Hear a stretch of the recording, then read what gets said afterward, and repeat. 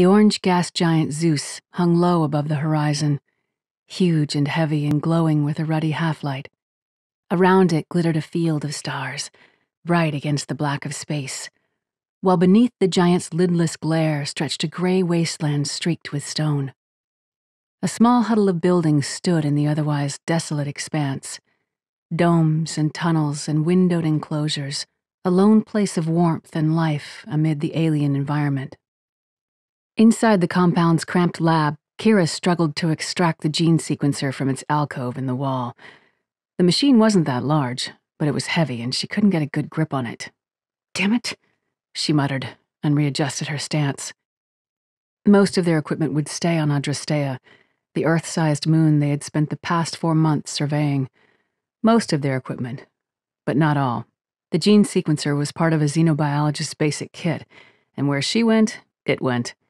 Besides, the colonists who would soon be arriving on the Shakti Umasati would have newer, better models, not the budget, travel size one the company had stuck her with.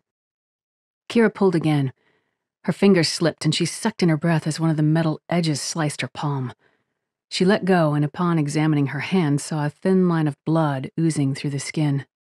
Her lips curled in a snarl and she hit the gene sequencer, hard. That didn't help.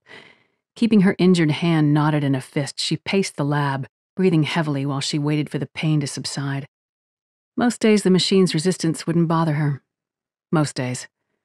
But today, dread and sadness outran reason. They would be leaving in the morning, taking off to rejoin their transport, the Fidanza, which was already in orbit around Adra. A few days more, and she and everyone else in the 10 person survey team would get into cryo, and when they woke up at 61 Cygni, 26 days later, they would each go their separate ways. And that would be the last she would see of Alan for. for how long, she didn't know.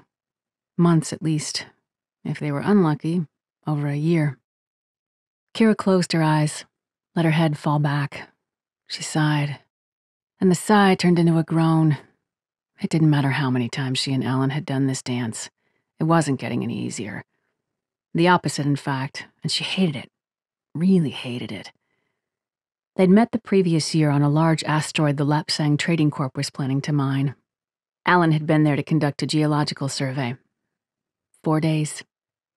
That was how long they'd spent together on the asteroid. It had been Alan's laugh and his mess of coppery hair that caught her attention but it was his careful diligence that impressed Kira. He was good at what he did, and he didn't lose his calm in an emergency.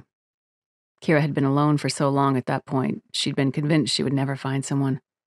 And yet, seemingly by a miracle, Alan had entered her life. And just like that, there had been someone to care for. Someone who cared for her.